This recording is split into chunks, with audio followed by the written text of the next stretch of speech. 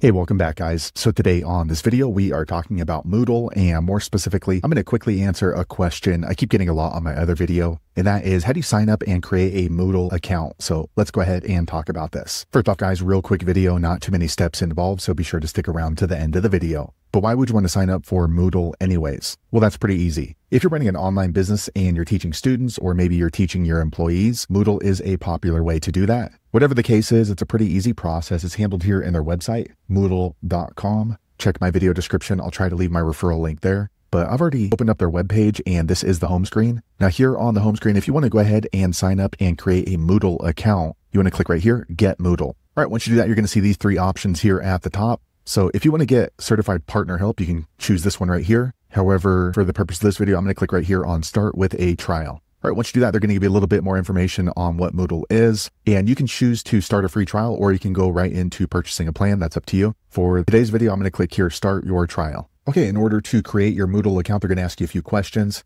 So first you're going to go ahead and choose a site name. Okay. And this is going to be extension of the moodlecloud.com. You want to go ahead and create a password, choose a server, so you want to choose the one that's closest to your students. So I'm going to choose the US. And here they're asking how you're going to use your site. So for me, I'm going to be selling courses. And next they're going to ask for your first name, your last name, email, country, and if you've used Moodle before. Next, you need to agree to the terms of service. So I'm going to fill all this information in off screen. Okay, entered in the required information. I'm going to click here on start free trial. Okay, next Moodle sent me an email code to verify my account. So I'm going to grab that code and enter it in here. Okay, entered in the code. It's processing now. Okay, quick second later, the page refreshes and it says, congratulations, your site has been successfully created. So now I'm going to click here, take me to my Moodle site. Okay, quick second later, it brings me here to my Moodle dashboard. So now I can go ahead and start building out my courses or adding in users.